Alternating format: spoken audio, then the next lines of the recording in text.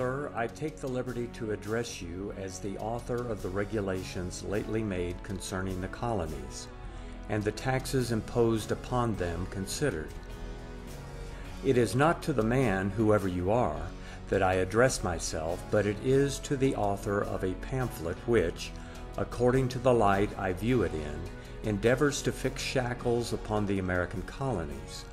Shackles which, however nicely polished, can by no means sit easy upon men who have just sentiments of their own rights and liberties. You have indeed brought this trouble upon yourself, for you say that many steps have been lately taken by the ministry to cement and perfect the necessary connection between the colonies and the mother kingdom,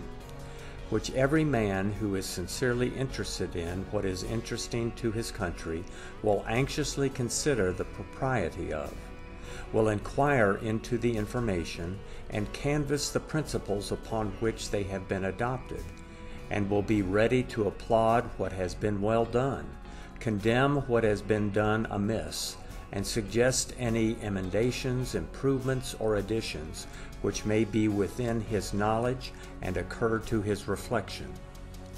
Encouraged, therefore, by so candid an invitation,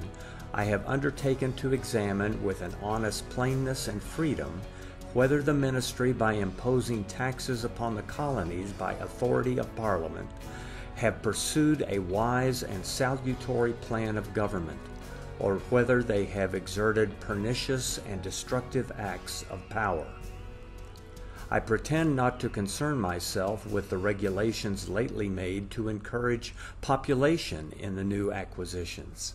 Time can only determine whether the reasons upon which they have been founded are agreeable to the maxims of trade and sound policy or not.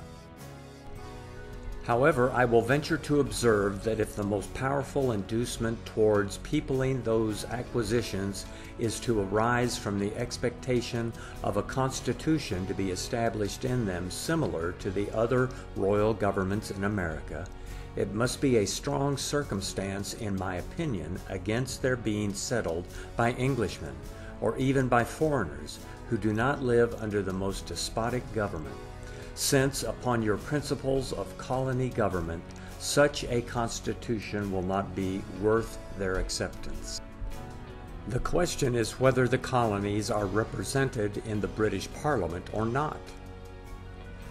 You affirm it to be an indubitable fact that they are represented, and from thence you infer a right in the Parliament to impose taxes of every kind upon them.